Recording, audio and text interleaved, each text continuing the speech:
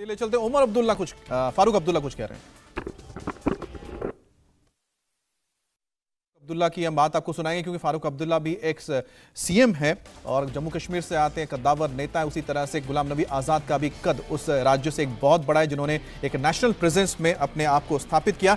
लेकिन जिस तरह से राहुल गांधी, सोनिया गांधी और साथ ही प्रियंका गांधी के ना होने के दौरान जो इस्तीफा दिया गया, उसको लेकर सवाल उठाए कांग्रेस की ओर से। फारूक अब्दुल्ला कुछ कह रहे हैं सुनिए जरा। बहुत करीब थे इस, इस खानदान के करीब थे। मगर अफसोस है मुझे हमें समझ नहीं आती है कि ऐसा क्या हो गया है कि इन्हें इतना बड़ा फैसला लेना पड़ा। वो चिट्ठी जो इन्हें लिखी है मैंने अभी पढ़ी नहीं है क्योंकि मैं उस पर कोई बात कर नहीं सकता हूँ।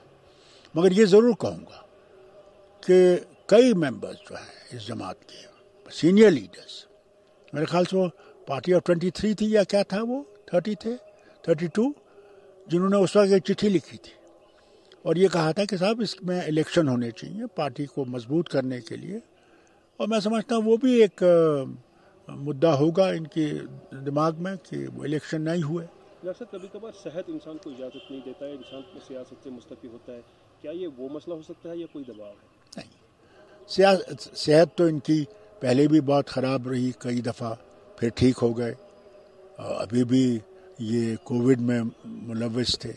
मगर मैं नहीं समझता सेहत का मामला। ये मैं समझता हूँ सियासी मसला है। इनको ये लगा कि इन्हें वो मोहब्बत और वो प्यार नहीं मिल रहा होगा। जो पहले था या जो एतबार इन पे था, वो नहीं था। कुछ हो सकता है ऐसा। मैं समझता हूँ, इसके सिवा मैं कुछ जानता नहीं हूँ, क्योंकि मैंने आज़ाद साहब से बात की नहीं।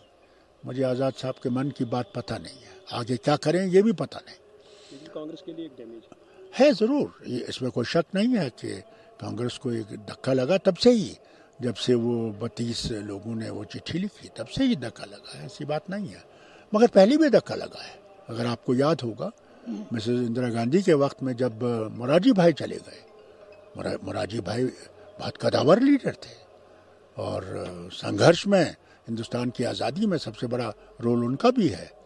मगर लीडरशिप को कैसे देखते हैं आप भी कांग्रेस में? देखिए कांग्रेस पार्टी अपनी आइडियोलॉजी से पूर्ण रूप से भटक गई है। कांग्रेस पार्टी अब वो नेहरू और इंदिरा और राजीव जी वाली पार्टी नहीं रही है। कांग्रेस पार्टी में कुछ चंद लोग गलत फैसले करवाए जा रहे हैं राहुल जी गलत फैसले करते जा रहे हैं।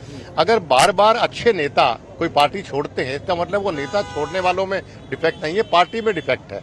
अब आज गुलाम नबी आज़ाद साहब छोड़ गए ज्योतिरा सिंधिया पहले छोड़ गए थे, मैं छोड़ गया, आरपीएन सिंह जी छोड़ गए, जतिन प्रसाद जी छोड़ गए, कल जयवीर शेरगिल जी छोड़ गए।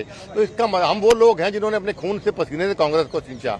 अगर हम लोग छोड़ छोड़ के जा रहे हैं, इसका मतलब यही कहीं ना कहीं कांग्रेस पार्टी इज़ फिनिश्ड और और मैं अगर ये कहूँ कि सेल्फ डिस्ट्रक्शन पे और सुसाइडल मोड पे कांग्रेस पार्टी तो बात गलत नहीं होगी। इंडिया टीवी हर वक्त, हर जगह। डाउनलोड करने के लिए सर्च करें India TV news, Google Play Store या एप स्टोर पर।